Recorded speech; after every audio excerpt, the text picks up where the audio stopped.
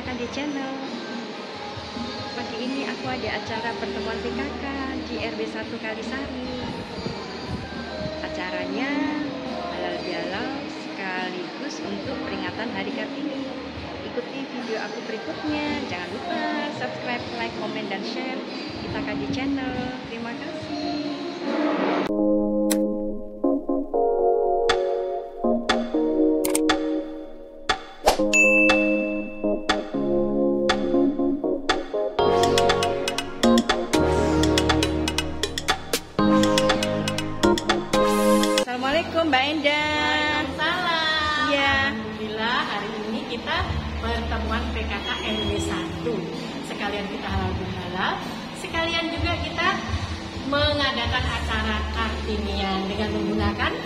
busana kebaya modern.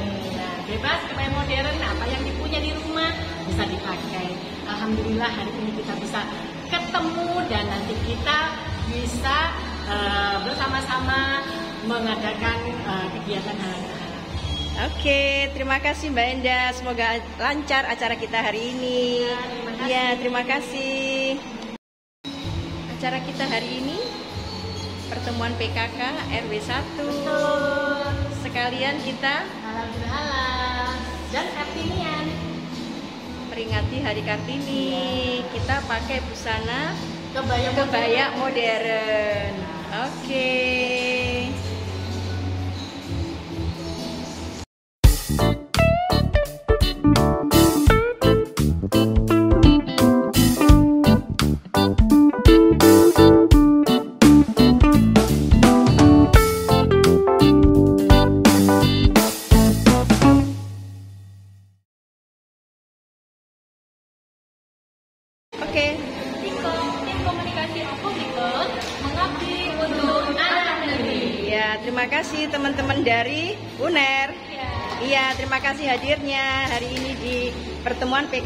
1 Kalisari. Sukses terus untuk studinya. Oh, video. Ternyata video bergaya kita. Hai, teman-teman. Thank you ya sudah hadir ya. Terima kasih. Halo. Minal aidin wal faizin. Maaf lahir batin. Yang hadir selalu bawa tepak sendiri untuk kuenya. Serowes.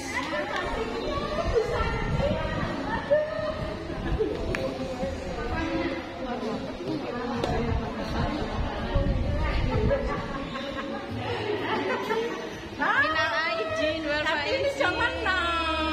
Tetap semangat. Tetap semangat, maaf lahir batin. Zaman now, tetap semangat. Selalu ceria. Ceria. Ikuti kegiatan apa pun. Positif untuk kita, bahagia untuk kita. Amin. Usia tidak jadi masalah. Tidak ada jemaah PKK RW 1. Oke. Halo,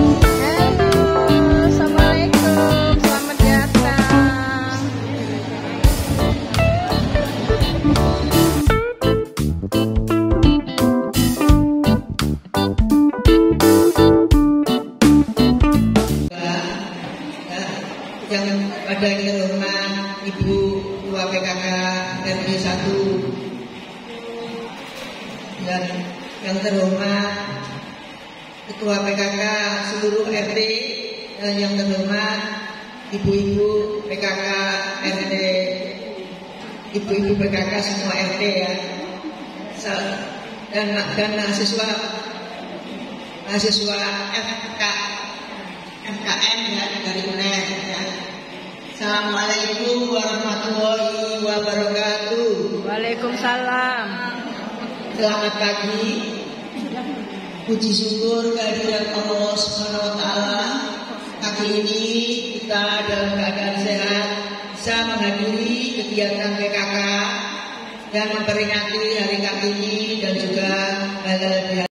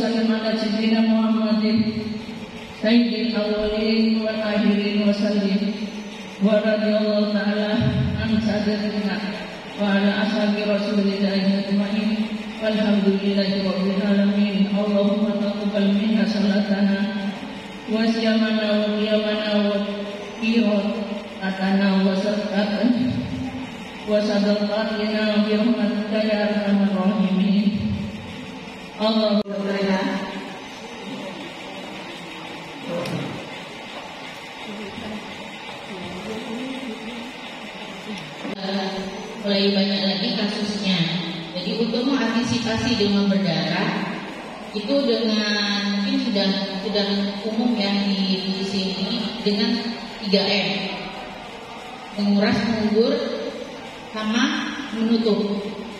Benar ya, adik-adik ya. KM ini yang pintar masalah penyuluhan Bu Enda. Sebetulnya mereka yang harus isi. Mungkin gejalanya juga sudah tahu semua. Kalau demam tinggi, mungkin di rumah ada termometer bisa dicek suhunya 38 sampai 40 biasanya. Biasanya juga disertai sakit kepala, sakit perut sama mual. Terus kadang muncul bintik-bintik merah. Bintik-bintik merah itu bisa di lengan, bisa di di kaki, bisa di seluruh badan. Nah kalau sudah ada gejala ini mungkin di diusahakan pergi ke fasilitas kesehatan atau ke eh, apa yang praktek bisa. Pastinya memang dengan pemeriksaan laboratorium. Nah kebetulan semua puskesmas di Surabaya itu sudah ada lab semua, tapi tidak selengkap yang di rumah sakit.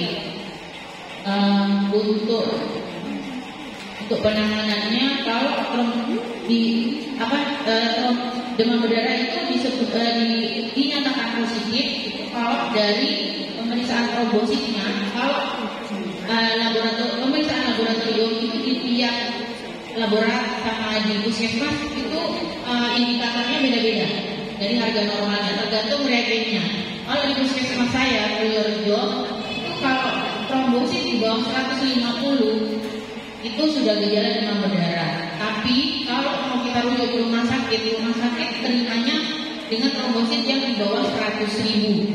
Kalau belum di bawah 100 ribu, dia tidak akan dirawat inapkan. Biasanya dirawat jalan.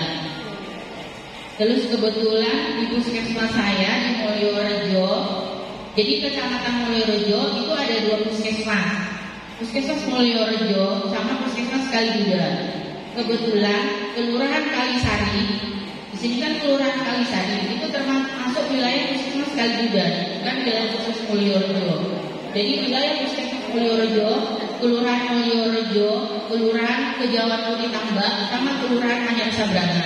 Kalau ada kasus demam berdarah, TBC, terus eh, kasus-kasus kasus yang sekarang ada lagi yang lagi booming di Surabaya itu outreach. Outreach itu kalau pasien sakit di rumah dilaporin ke puskesmas dari RT RW-nya, dia minta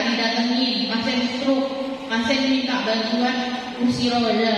Itu lapor ke puskesmas ke, ke kelurahan. Nanti ke puskesmas kita datangi biasanya. Ya kasus yang seperti itu itu per wilayah. Kalau selamanya mungkin ada tangganya yang butuh kursi roda. Itu bisa nanti kita usulkan ke pemkot. Ya wilayah puskesmas Kalijudan itu kelurahan Kalisari kelurahan Kalijudan sama kelurahan Dukuh Storjo memang pembagian wilayahnya agak mencelat-mencelat ya karena dulu itu Kalijudan tidak mau. Dia, dia harusnya Kalijudan Menyamsabrangan sama Dukus Jalan Selatan terus di puskesmas saya ada uh, puskesmas dengan rawat inap umum dan, dan persalinan. Kalau rawat Tadi itu sekarang ada tugasnya di tiap RT yang disebut KSH. Jadi kader Surabaya itu menangani itu semua. Ya, jadi pemerintah kota Surabaya itu uh, banyak sekali programnya. Dulu kader itu kan cuma kader aja namanya. Kader posyandu lansia, kader posyandu balita, uh, kader apa lagi? Belajar posyandu balita, kader jente dulu. Nah, sekarang kader itu dijadikan satu namanya kader Surabaya hebat. KSH.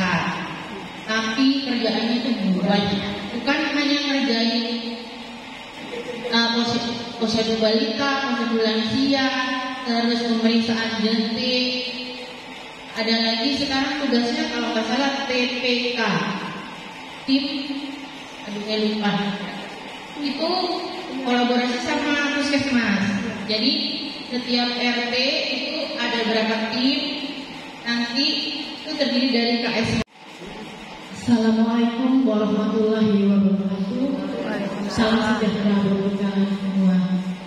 Ibu sekalian, alhamdulillah hari ini kita bisa mengadakan pertemuan ibu-ibu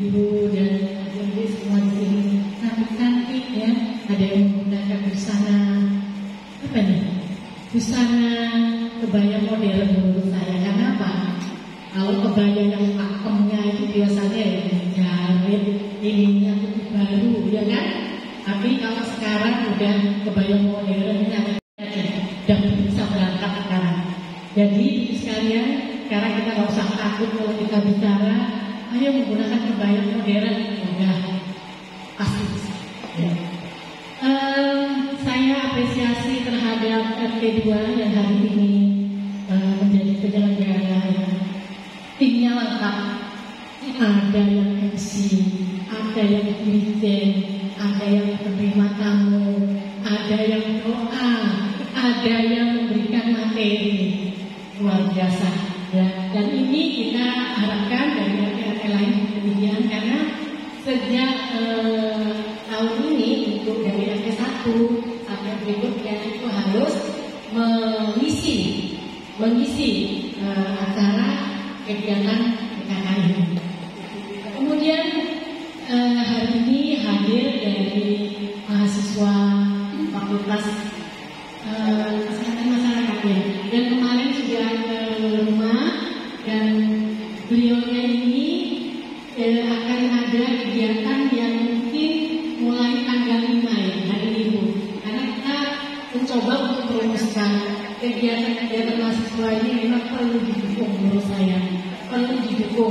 Jadi kita berikan sarana prasarana yang diharapkan dan juga eh, ini apa peserta atau anak-anak yang diharapkan.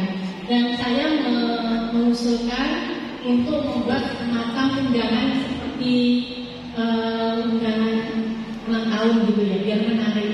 Nah nanti setiap by name kita tulis misalnya kepada Ananda Adi itu hadir, bla bla bla bla gitu, supaya apa?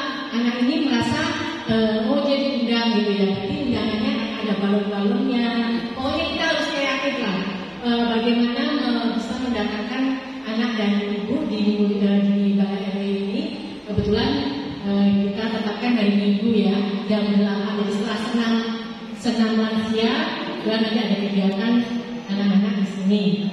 Nah, eh, ibu sekalian memang mahasiswa ini saya hadirkan di sini supaya juga ibu kenal dan tahu uh, apa program-program yang uh, diusung sehingga ibu-ibu sekalian bisa membantu nantinya. Nanti kita akan bagi undangannya, karena kan jumlahnya 30 ya, dari 30 ya, anak-anak ya. Nah itu nanti ya bisa, bisa berapa, bisa berapa dan sebagainya. Sehingga kita benar-benar bisa mendukung program anak-anak ini karena kita ya kita bisa merasakan kalau kita juga punya mahasiswa kemudian nanti e, berkegiatan di tempat lain juga bisa didukung oleh ya bisa didukung oleh masyarakat setempat. Gitu ya dia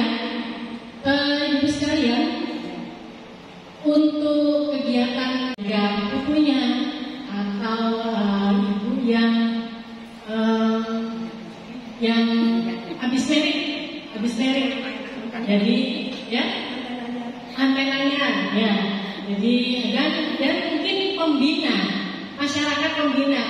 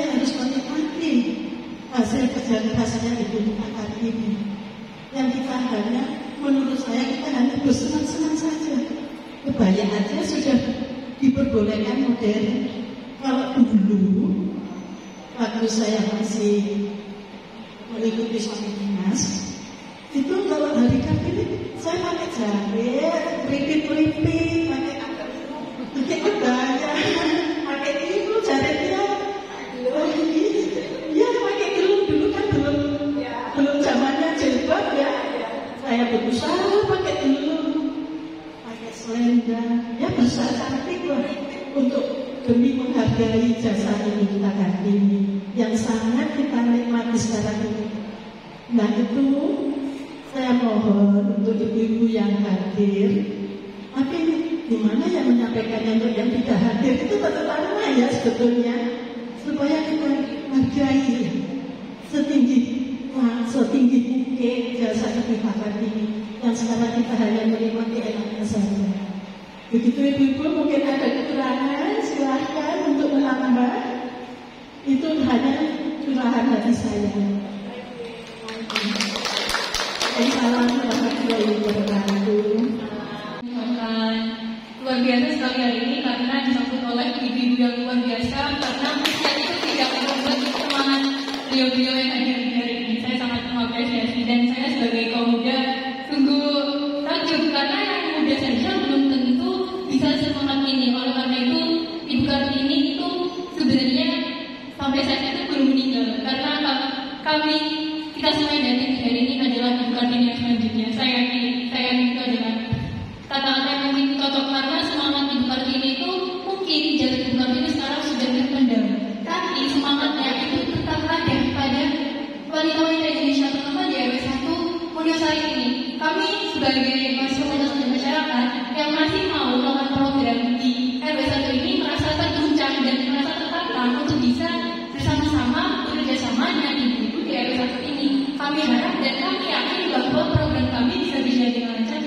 semangat dan kolaborasi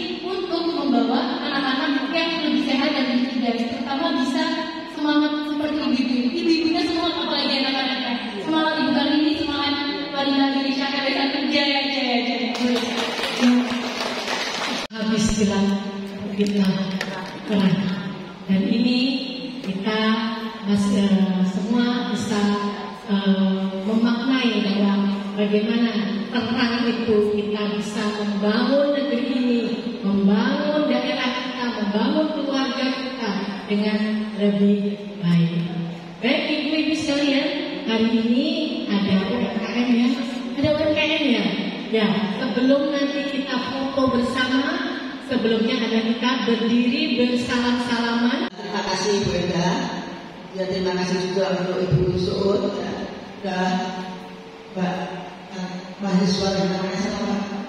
Mahasiswa.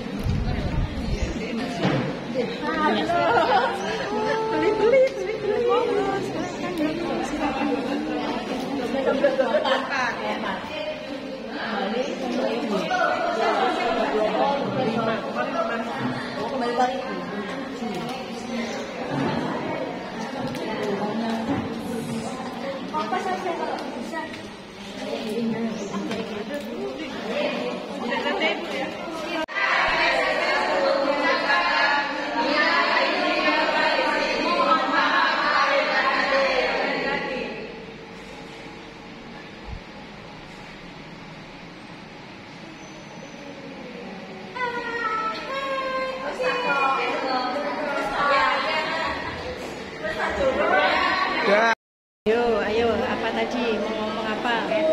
Ya, sehat.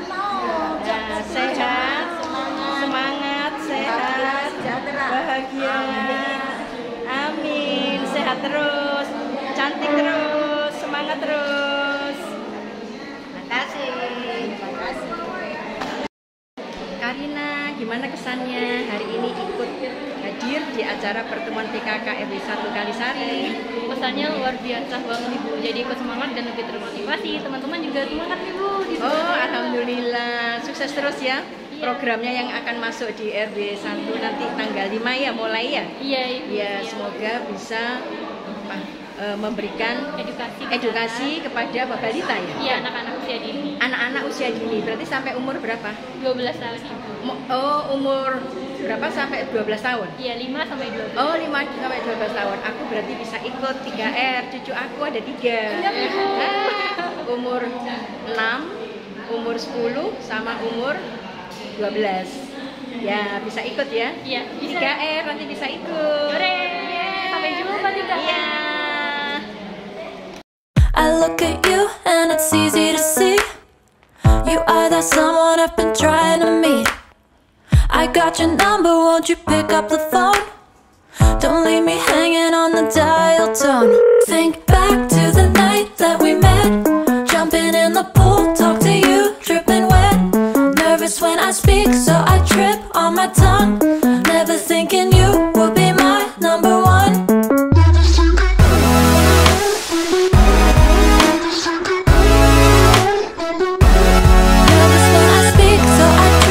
On my tongue. Never thinking